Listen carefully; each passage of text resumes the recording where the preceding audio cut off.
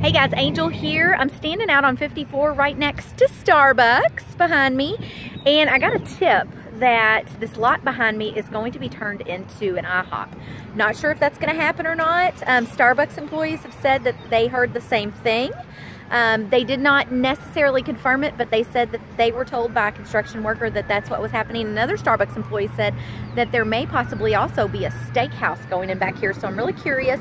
And they said they're getting a larger parking lot, which is going to be able to be utilized by both Starbucks employees, patrons, and the patrons of IHOP and whatever else goes in over here. So what do you guys think or what have you heard? Let us know.